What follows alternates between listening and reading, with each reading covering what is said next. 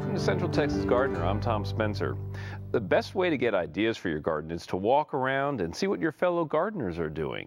It's a way to meet new plants and translate design concepts to your own space. So today we preview the Lady Bird Johnson Wildflower Center tour that features native plants in home garden settings. Right now, let's get a closer look at one of them.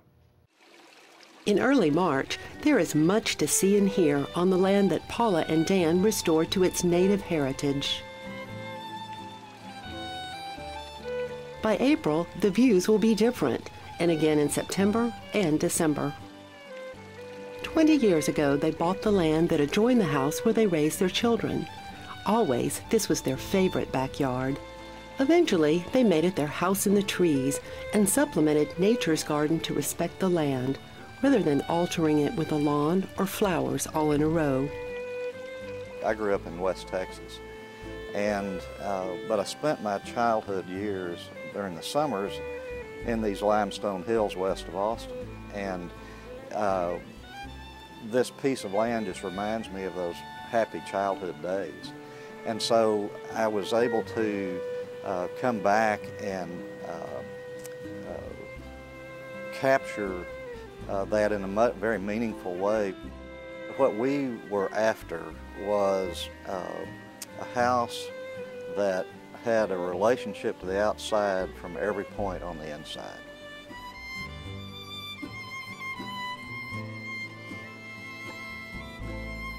From the beginning, it was a collaboration among them, the land, architect Paul Lamb, and David Mahler, ecologist and landscape designer for Environmental Survey Consulting.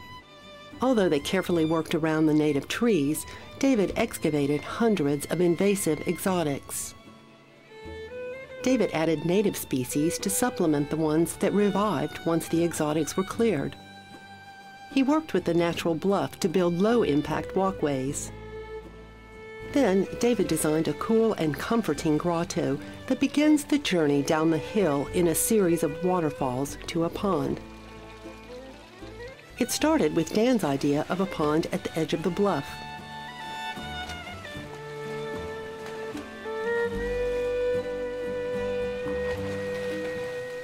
For 20 years, he'd noted the natural pooling after a heavy rainstorm.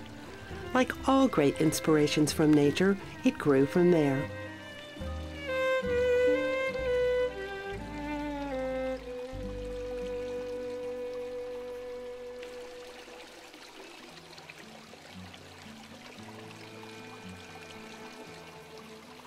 From open windows and outdoors, the waterfalls cancel the sound of the highway that carries through the trees.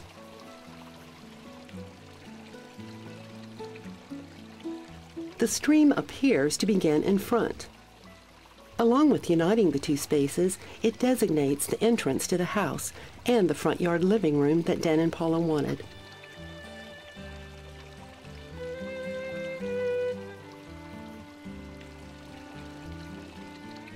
Has the, uh, the relationship to the outside that we were seeking uh, with the noise of the water and uh, the trees uh, being as close to the house as we could preserve them. In fact, this tree is, uh, if you look on the other side, there are little two by four strips nailed in the bottom of it going up the tree, which is where our son would climb and rappel out of the branches of this tree. and, as a little boy, so we made this tree uh, the centerpiece of this courtyard. Another centerpiece is the Thunder House, aligned with the compass, to hang out in rain or sun and view the front from all angles. Instead of lawn, Dan told David that he wanted to wander trails that are never static.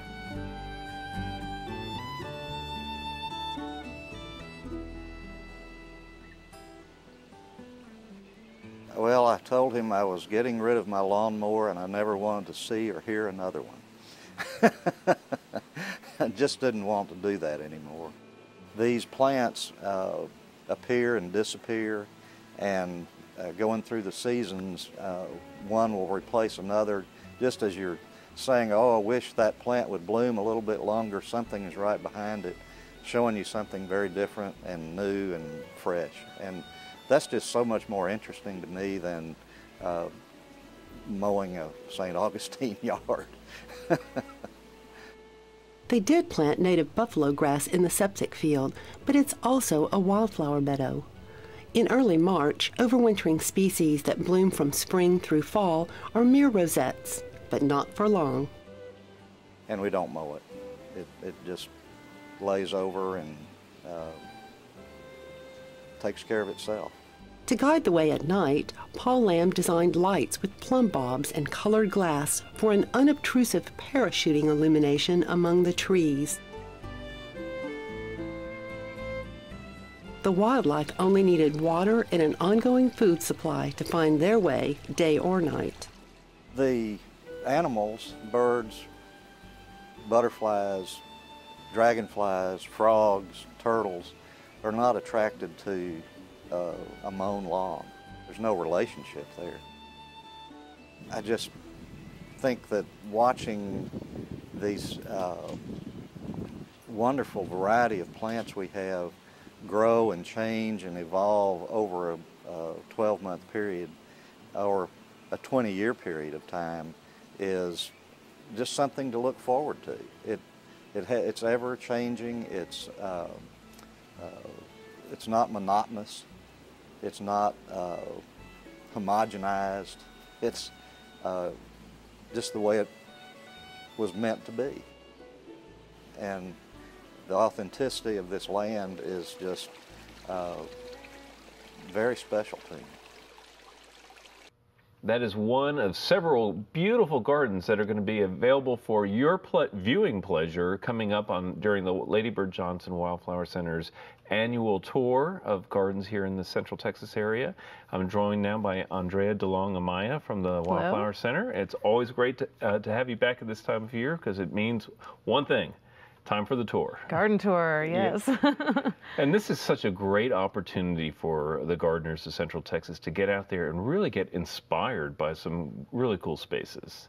Yeah, we've really had a lot of fun looking at all the gardens and finding a good variety of things that will, you know, some of them are nice small little gardens mm -hmm. and mm-hmm. some of them are nice big gardens and some of them have more naturalistic feel or more stylized or mm -hmm. stylish feel to them. So I think people will get a good range of experiences on this tour. As individual as the people who own them. That's right. And and that's the cool thing about gardens is that they really do reflect people, not just nature.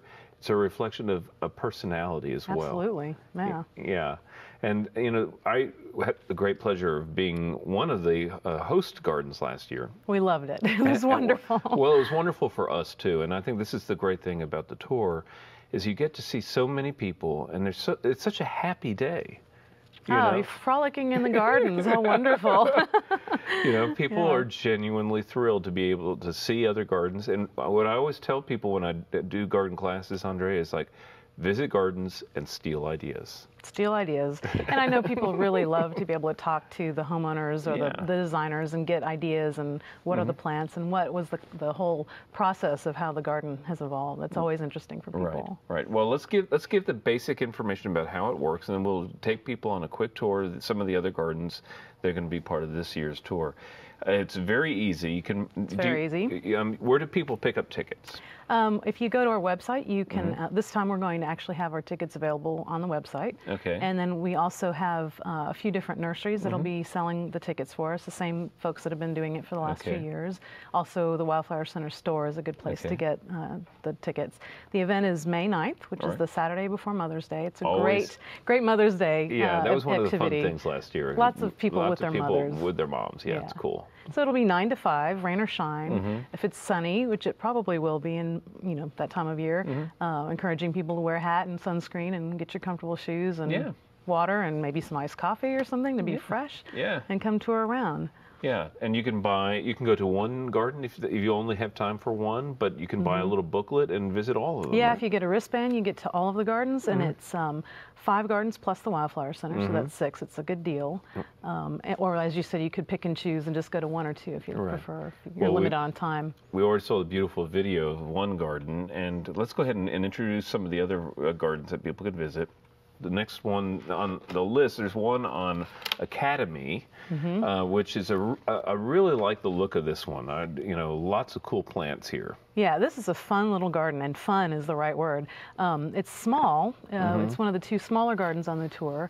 And it's very much um, a very stylish garden. It fits very much in the South Congress district. Mm-hmm. Yeah, yeah. Uh, The and it- SoCo the cool SoCo cool, right? um, and it's it's wonderfully quirky, and I mean that in a wonderful way. Um, the uh, the homeowners have added little touches here and there. Mm. There's a little scene of where the wild things are with little Mm-hmm. figures, and uh, as you can see in the pictures, there's some neon signs and lots Mm. of fun stuff going on in that garden. It's Well, quir- it- Warm.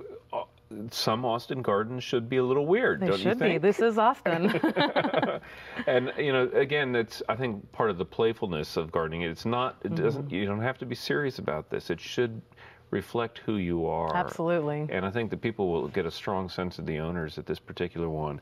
And there's uh, uh, the, all, the plant choices here. I really do love. I mean, because they make a lot of sense. But there's it's bold too. Mm-hmm. Yeah, yeah. It's uh, one of the most effective is along the side of the house. There's just a nice long bank of inland sea oats, and it frames the trail, the pathway that goes from the front to the backyard, and it leads you through very nicely. And I think it's very effective that way. Yeah, and out by the street, some really strong agaves Oh, yeah. with flowy grasses and The things like homeowners were said that they had gone through several iterations of gardens out there, and they have to be durable. Yeah, well, and we're in that location, it has to be durable. Ab- Absolutely. So that is, again is on Academy in South Austin, and uh, just what you would expect from Yeah. that neighborhood of Fun Garden.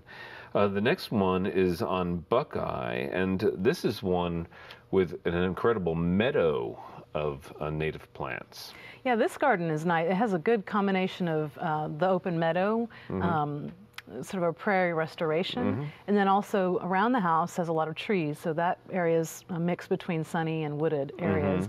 It's a pretty large garden with uh, pretty extensive trails, and it's a good plant collection. There's just a huge amount of diversity that um, that the homeowners and the designer have built. It's um, designed by Jill Nokes, and uh, she and the homeowners have worked very closely together to create an interesting and dynamic landscape there. Yeah, I love the idea of restored meadows, and we actually have some images that show the kind of the process of this evolving from the planting Yeah. all the way full, to this very full, lush-looking.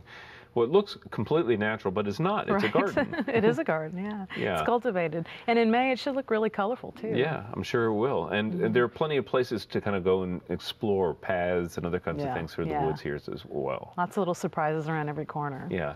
One of the things I heard about this garden is that uh, they really wanted their children to have a natural experience when they walk out the door. And I, I would, if I that. were a kid, I would love to grow up in that garden. Yeah. Absolutely. Yeah, and I think people need to think about things like that. Uh, the next garden is on Kempson, and uh, this uh, again, lots of great use of stone in this garden. Lots of cool plants too. Lots of great uh, uh, bold plants as well as lots of wavy grasses and things. Yeah, this is a, a, se- a sweet little garden that when you first come up to it from the street, it looks like really the rest of the neighborhood. It doesn't look special at all, but when you go in the backyard, um, the homeowners have been very careful to restore or, or preserve a lot of the original uh, landscape that was there. Uh, a lot of the stone that was in the picture was excavated from the site, and then they reused it in the in the garden, which is great. Um, so they have a nice little area where. Um, uh, he's even collected stuff that he's, you know, from seed that he's found in the neighborhood and thrown them in the rocks. Yeah. And then there's the wooded area where they've cleaned out some of the Mm-hmm. the real dense um, vines and invasive things and have replanted with some other more understory things. Well, it looks like a lot of fun. I love the back view of this house. It, it really is this beautiful sweep of a landscape with all the kind of the plants tucked in amongst the stones, and it looks terrific. I, I really Yeah. like the uh, that look. And again. Uh, goes to the point of what the Wildflower Center is all about. This this is a garden that really saves on resources and yet is beautiful when it comes to the aesthetics. You know? It's a great example of what you can do again with another small space too. Yeah, that's right. It doesn't have to be on a grand Right. scale. Now, the next garden, this is this is kind of a different scale, and it looks like a, almost like a theme park almost. so this is the LCRA. They have uh, this created this beautiful uh, LEED certified. For those who don't know, it's like top environmental rating for a building. Uh, and on the And they have a four-star uh, Austin Green uh, Energy uh, Yeah. four-star rating too. well, and then the grounds are like like I said, a theme park. Yeah, yeah. Lots and lots of native plants, Mm-hmm. um, locally native even. Uh, and there are a series of, like there's a butterfly garden mm -hmm. and, and, different um, examples of how mm. you can use plants. They're not all native, but mostly right. native, how you can use them in different contexts. -hmm. Uh, I think one of the um, the uh, heart of the garden is actually a, a water feature that has, uh, it's a model of the six different uh, lakes and dams that LCRA oversees. Mm -hmm. And it's an interactive water feature. So you can turn on the rain or you can close the gates. And it's really fun. And we'll be having um, guided tours by Excellent. LCRA representatives throughout the day. well, explain it. And I know that the LCRA is promoting the use of native and xeric plant materials throughout the hill country, and it makes so much sense for us and here's a great opportunity to see those in what looks like a gorgeous setting. Yeah, it's really beautiful. And the whole concept really uh, at their garden is about water and, and preserving the water. Yeah, well, and again, it goes with the theme. With the theme of native plants. All right. Yes. So again, let's just hit the highlights. May 9th. May 9th, uh, from 9 o'clock to 5 in the afternoon. Mm -hmm. um, it'll be a self-guided tour. People can come and go right. to whichever gardens as they wish. Um, right. You can buy a wristband for all the gardens or buy them individually. Mm -hmm. And uh, all of that information is on our website, which is 3ws.wildflower.org. Okay, wildflower.org. Yeah. Very easy to find on the web. And again, also tickets available at local nurseries as local well. Local nurseries, and yes. Absolutely. Okay. Well, it, it's a great day, a great a way to celebrate Mother's Day weekend. Certainly something that I encourage people to go as families and br and bring mom with you. Uh, it would be a wonderful way to uh, give her a treat as well as to celebrate a, a beautiful way uh, to you know be a family together out there in all these fantastic spaces and bring your notebook. Steal the ideas. Andre, it's always a pleasure to see oh, you. Oh, my pleasure. Thanks for your interest. Okay, okay. Well, uh, good luck this uh, uh, season with the tour. And coming up next is our friend Skip Richter.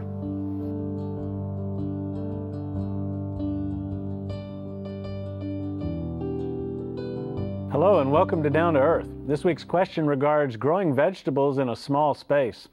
You may live in a condo or townhome or an apartment where you don't have a lot of land to grow vegetables in, or perhaps you've got land but it's covered with giant trees and there's this one little sunny spot down out there on the driveway where you can put a few vegetables in. You know, we have a lot of options for doing that. The best way to do it is in containers.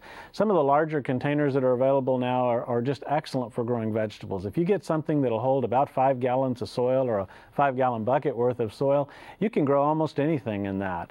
Uh, you can grow in smaller containers as well, but if you have a larger amount of soil, it gives the plant a chance to grow a little more, and you don't have to water it quite as often. The smaller the container gets, the more often you have to water to keep it from wilting and going into stress. So give them as much room as you can. Choose a good quality potting soil too, and make sure there's air, uh, holes at the bottom of the container to allow excess water to drain out.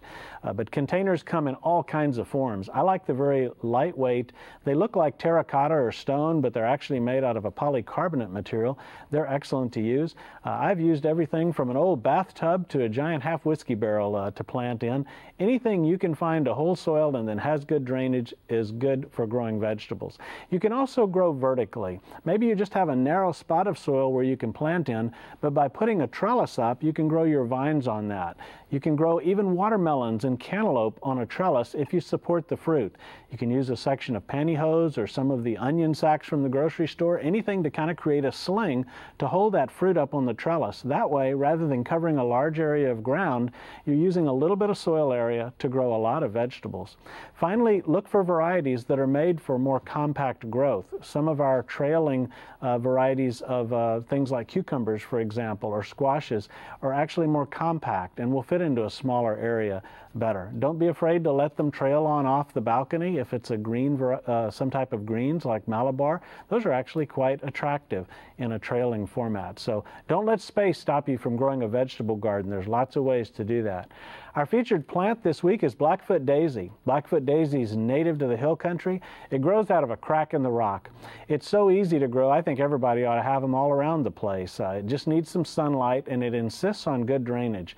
This is an excellent plant if you want to use a, a decomposed granite mulch for it's really happy with that. If you put it in a bed that's full of organic matter and a really wet organic uh, surface mulch like wood chips or compost, it may tend to rot on you during wet weather. But if you allow really good drainage and, and uh, provide it with the sun it needs, Blackfoot daisy is extremely easy to grow. Goes good in a container too. Being a perennial, uh, it's just a lot of fun and I think the flowers are really attractive as well. It's a good ground cover or a good uh, plant to put around the base of other plants as long as it gets the sunlight. Things to do in the garden include taking care of those newly planted woody ornamentals. You may have spent some money this year putting in a tree or a woody vine or a shrub. You want to make sure and give those good care. The first summer is the critical one. They're trying to grow, they're trying to get roots established, and then here comes a Texas summer. That's when we lose most of our plants. Either they lack water or the planting hole becomes an underground flower pot that holds water and it literally drowns them because we overwater the plants. So you want to find that happy medium of moist soil, continue to water them. I like to build a berm of soil around my plants about a three foot circle, just sort of a raised donut of soil. And that way you can put a water hose in and fill it up and give it one good soaking a week or maybe two good soakings a week, depending on the weather and the type of soil you have, and they'll do really well. You want to prune all those spring blooming plants once they finish blooming. Anything that blooms only in the spring, prune it at the end of its bloom cycle, and that sets it up to put on new growth, set new blooms for next year. So now would be the time to start doing that. And finally, when you're fertilizing annuals and perennials, do so about every month, month and a half to keep them vigorous and healthy. For more information or to contact the County Extension Office in your area, visit the klru.org slash CTG website. Thanks, Skip. Now let's check in with Trisha Shirey for Backyard Basics.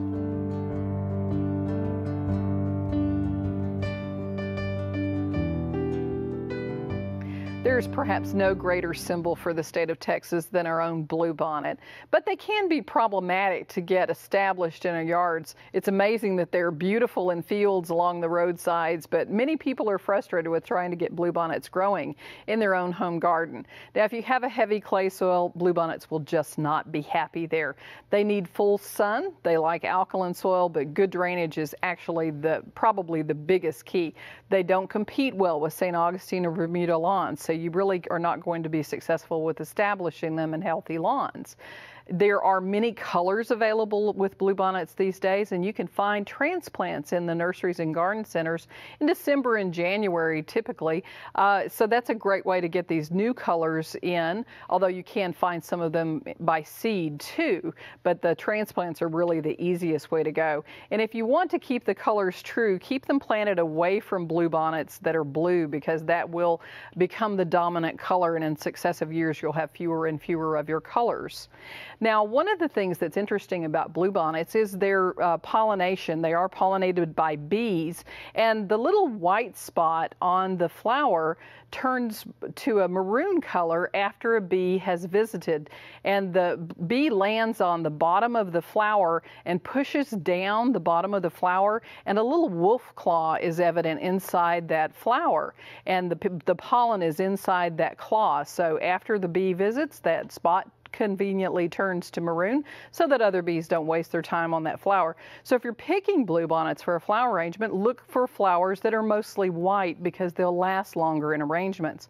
Also, the action of picking your bluebonnets regularly prevents them from going to seed. They're an annual, so that will keep your bluebonnets blooming even longer if you can prevent their going to seed. But you do want to make sure that you let some of the bluebonnets go to seed so you'll have them coming back in the same spot. Now, it's important not to mow too early. Sometimes people don't like the ragged look of their bluebonnets and they mow them too early, and that's why they don't come back again next year. So when the bluebonnets have these kind of fuzzy seed pods, open up a pod or two. Inside, the seeds should not be green. They should look brown or grayish and look almost like little gravel pieces. They're very, very hard when they're mature. At that point, you can mow your bluebonnets and they'll come back for you. Sometimes the seeds will actually split open and they'll throw the, the seeds everywhere. So scattering them even widely. Now you can take the bluebonnet hay after you've mowed the bluebonnets, take that bluebonnet hay and put it in other places and extend your bluebonnets to other areas and you'll have uh, even more bluebonnets to look forward to in the next year.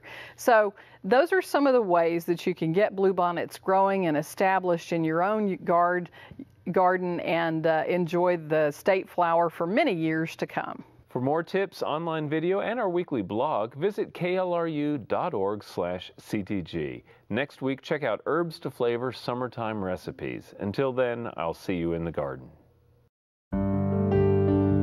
Visit klru.org/ctg to learn more about today's program, upcoming events, and to sign up for our electronic newsletter. Check out John's how-to tips and visit Trisha's Corner for ideas inside and out. Get growing at klru.org/ctg.